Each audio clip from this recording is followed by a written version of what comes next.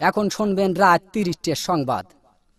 Radio চেরাবেরা খবর পড়ছে সব দলের মা দাঁড়া খবর প্রচারিত হচ্ছে কাটাখালী কচু বাগান গুতগতি সেন্টার থেকে। সংবাদের শুরুতে শিরোনাম। কাটাখালীর মিরির দুয়ার ভিতর একটি চাউলের খনি। শেখপাড়ার বটতলায় ঘোড়ার গাড়ির দুর্ঘটনা। কুচ্চে মুরগি বন বিলে ধরে পালাতক। এতক্ষণ সংবাদ শিরোনাম শুনলেন, এখন শুনবেন বিস্তারিত। খবরে জানা যায়, কুদা ফকির বাড়ি দেয় তবলায় ইকরাঙ্গের হাঁসটি ধরে নিয়ে যায় কেবলা হাঁসটি ধরে নিয়ে যায় পশ্চিমবঙ্গ, ভারত থেকে। রাতের বেলায় দাবলা দাবড়ি হয়, কোনো সুসংবাদ পাওয়া যায়নি। সকালবেলা সংবাদ পাওয়া যায় কিনো ফকিরির দরগায়। খবরে জানা যায়, হাঁসের কোনো ক্ষয়ক্ষতিও নেই। বন বিলের লোম কটা সব জড়িয়ে পড়িয়ে গিয়েছে গতকাল কাটাখালের ব্রিজের পারে একটি মহিলা দাঁড়িয়েছিলেন। মহিলা দাঁড়িয়ে থাকার পর একটি বাড়ি মাছি উড়িয়ে যাইতাছিল খবরে জানা যায়, মহিলার উড়নার বাড়ি লেগে বাড়ি মাছি ছত্রিশটি দাঁত ভাঙ্গে জাগায় পড়ে যায়। এরপরে বাড়ি মাছিটি দক্ষ প্রকাশ করেন যে তিনি দাঁত দিয়ে কিছু চাবিয়ে খেতে পারছেন না। আমাদের কদবেল হায়দার বাড়ি মাছির দাঁত লাগানোর জন্য ছত্রিশ লাখ টাকা পুরস্কার প্রদান করেন।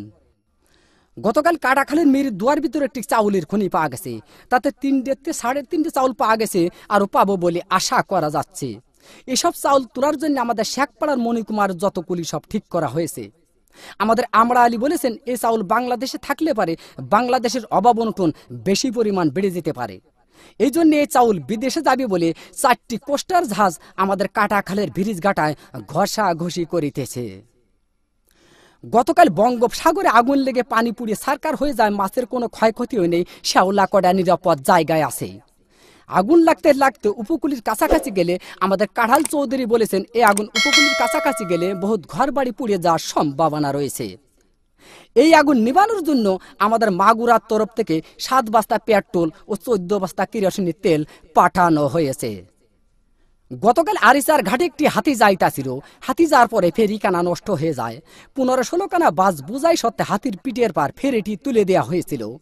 হাতিটি নিমিজিমি করে যাইতাছিল। এক রয় নামাসের পাড়ায় হাতি চ্যাপটা হয়ে গেল।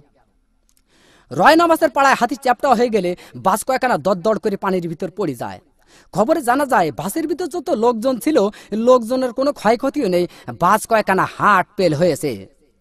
এরপর এক মহিলায় বাস কয়েকখানা বাহাত দিয়ে টান দিয়ে তুলে আরিসার হোটেল থেকে চোদ্দ বালতি ফ্যান খায়। সুস্থ করা হয়েছে। গতকাল এক কুচ্চি মুরগিতে এক বন বিলে ধরে পালাতক গহীন সমুদ্রী পানির ভিতর। গতকাল তিনশো ছেষট্টিটা ডুবুরি নামায় খোঁজ করা হয়েছে। খবরে জানা যায়, বন বিলের কোনো ক্ষয়ক্ষতি নেই কুচ্চি মুরগির পেটটি একটু ফুলেও ফুলেও পাওয়া গেছে। আমাদের কাটাখালীর বিন্দু ডাক্তার কুচ্চে মুরগিটি মগির নতুন হাসপাতালে ভর্তি করে কুচ্চে মুরগির পেট অপারেশন করে তিন মন ও সাড়ে তিন মন চাউল পাওয়া গেছে আরও পাবো বলে আশা করা যাচ্ছে। বর্তমান বাংলাদেশে মাছের অভাবন্টন বেশি পরিমাণ দেখা যাচ্ছে। এর একমাত্র কারণ বুড়িগঙ্গা নদী দিয়ে একটি মায়াবড়ির জাহাজ যাইতেছিল। এক কাইলে মাছের সাথে অ্যাক্সিডেন্ট হয়ে মায়াবড়ির জাহাজটি পানির ভিতর ভাঙ্গে চুরে পড়ে যায়।